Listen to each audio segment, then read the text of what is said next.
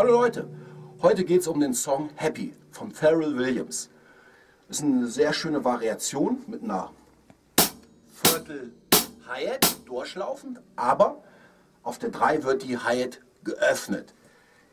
Ja, ich würde ganz kurz, ich würde vorschlagen, wir ähm, fangen wir erstmal mit der Hi-Hat und der Snare Drum an, bevor wir die Bass Drum hinzufügen. Kann ich euch vielleicht mal kurz aufmalen, das ist vielleicht verständlicher. Also die Hi-Hat in Vierteln, also vier Vierteltakt, also zählt seit 1, 2, 3, 4. Dann die Hi-Hat,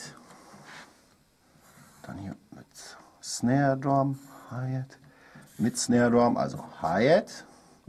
Auf der 2 Hi-Hat mit Snare Drum. Auf der 3 Hi-Hat öffnen. Und dann auf der 4 Hi-Hat und Snare Drum. Aber hier muss die Hi-Hat dann wieder zu sein. Ja? Also hier öffnen auf der 3, spiele ich natürlich. Und dann hier auf der 4 wieder schließen. So.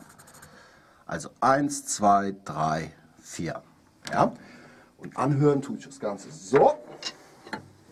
Schön langsam. Ich gebe euch mal einen Takt vor. 1, 2, 3, 4. 1, 2, 3, 4. 1, 2, 3, 4. 1, 2, 3, 4. Okay.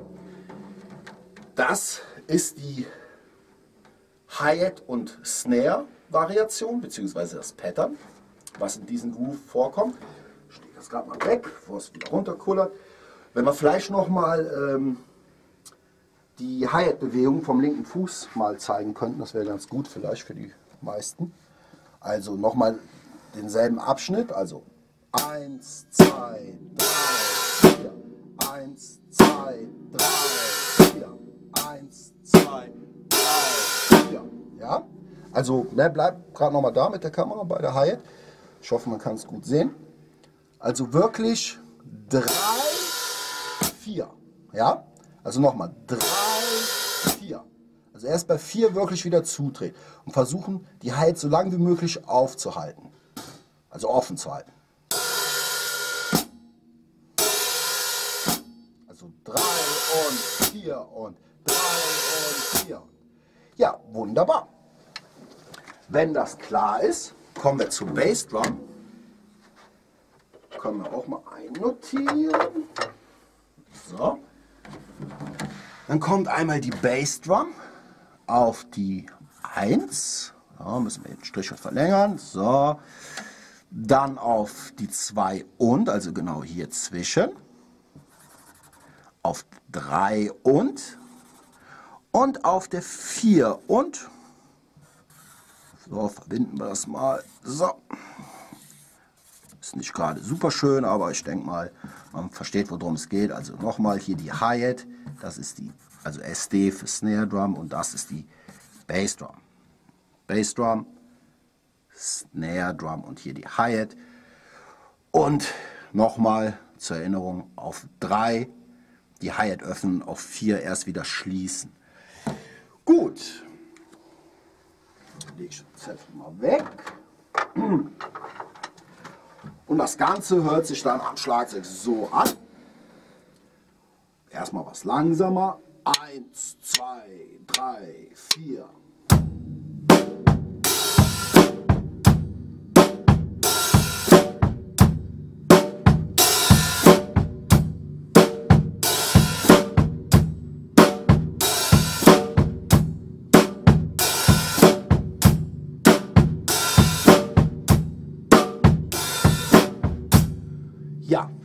Langsam. Also langsam muss ich sagen, finde ich persönlich sogar schwerer zu spielen als wie ein Originaltempo, circa 160 BPM.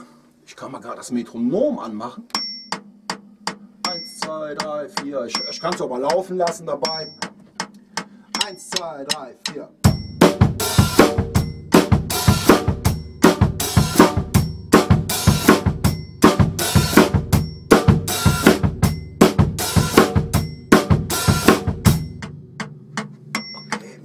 wieder aus. Ja, ein bisschen so zum Sound. Also ich würde das jetzt, wenn man es in eine Kategorie einpacken möchte, diesen Song, äh, mehr ähm, ja, so Soul, Soul Pop äh, einordnen und vom Sound her natürlich zum Beispiel von der Bassdrum her, also nicht wie im Hardrock, so extrem hart, also sehr Attack, Attack-lastig, ja, sondern äh, so eher sanft. Dabei hilft natürlich, wenn wir es vielleicht mal zeigen können, ähm, so ein Filzbeater. Ja, also nicht äh, so Kunststoff, sondern schön so, so ein ganz einfacher Filzbeater. Der klingt schön sanft. Wenn ihr sowas habt und das austauschen könnt, einfach mal dran schrauben. Ansonsten dezent spielen mit Ferse unten. Aber das überlasse ich euch. Schön sanft auf jeden Fall. Und dann, wo wir gerade hier sind, die Snare Drum mit so einem dezenten Rimshot, also Fell und Rand gleichzeitig. Ja. Kein Rimshot, Rimshot.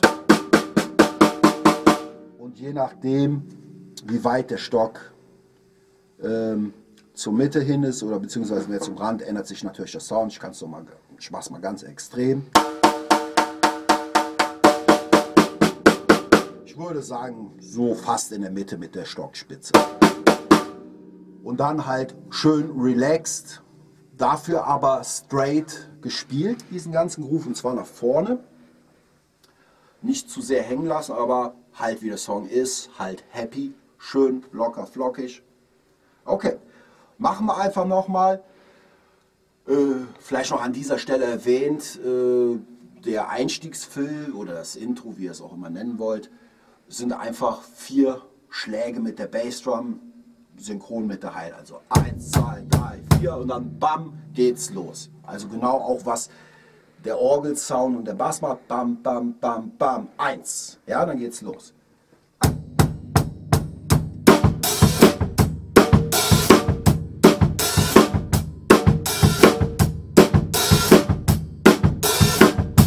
Ja, so hört sich das Ganze an.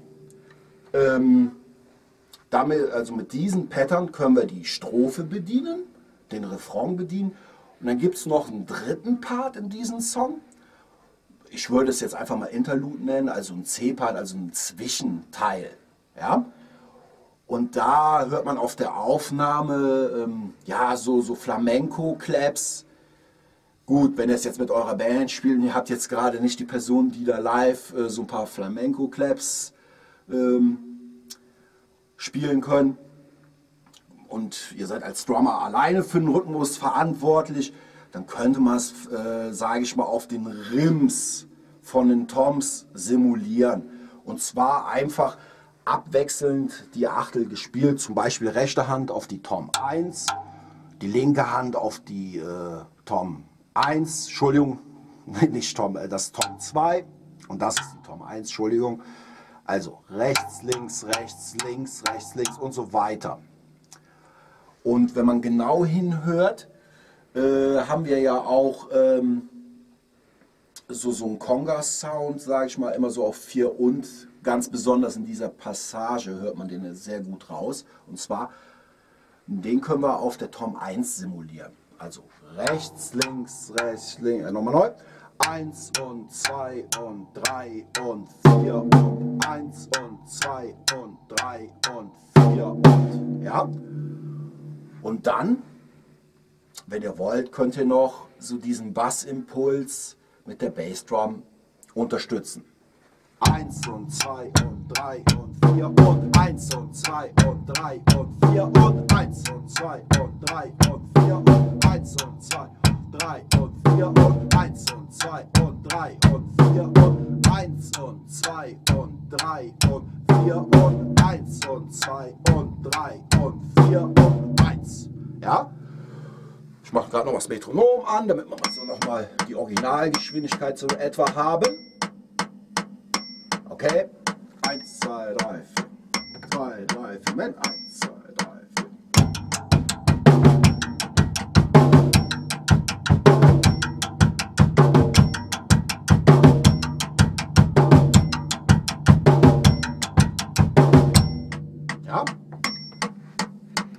Nochmal ohne Metronom.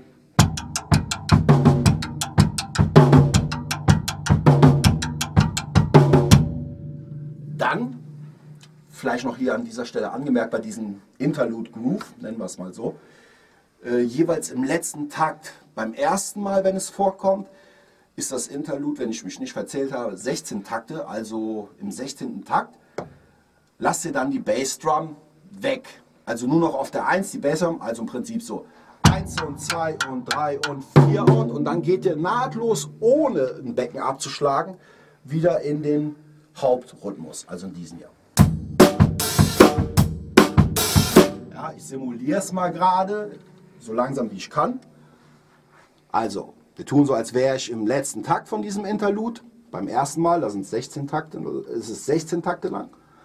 1 und 2 und 3 und 4 und 1 und 2 und 3 und 4 und 1. Ja? So wäre der Übergang aus dem Interlude wieder zurück in den Refrain. Ja, da an dieser Stelle in den Refrain. Also vielleicht auch noch an dieser Stelle angemerkt, wenn einmal das Interlude kommt, kommt der Strophenpart gar nicht mehr. Aber für euch als Schlagzeuger ändert sich da nicht so wirklich viel, weil, wie gesagt, ich spiele dieses, dieses Pattern in der Strophe, im Refrain, nur im Interlude nicht. Also es kommt dann letztendlich, lange Rede, kurzer Sinn, es kommt nach dem Interlude nur noch der Refrain, dann kommt nochmal das Interlude, aber halb so lang und dann der Refrain. Und die letzten beiden Refrains sind äh, ich, ja, 32 Takte jeweils. Also doppelt so lang als vorher. Ja, ja das war es im Prinzip schon zu dem Song. Ich hoffe, ich konnte euch damit weiterhelfen. Und es macht auf jeden Fall eine Menge Spaß, zu diesem Song einfach mitzutrommeln. Der Künstler selber hat ja äh, bei YouTube ja ohne Ende Videomaterial hochgeladen, wo es dann jeweils eine Stunde lang, äh, lang läuft. Also natürlich äh, immer mit einer kurzen Unterbrechung. Dann beginnt der Song wieder von vorne. Ich glaube, der geht irgendwie so 3 Minuten 50 oder sowas. Und ja, würde ich euch vorschlagen, einfach Video anklicken, ans Drumset und dann spielen, bis ihr den Groove drin habt, das Feeling. Und ich denke mal, das macht diese ganze Nummer auch einfach aus. Ja, da sind wir auch am Ende angekommen. Ich hoffe, euch hat es gefallen. Bis demnächst, euer Bruno von happydrums.de. Ciao!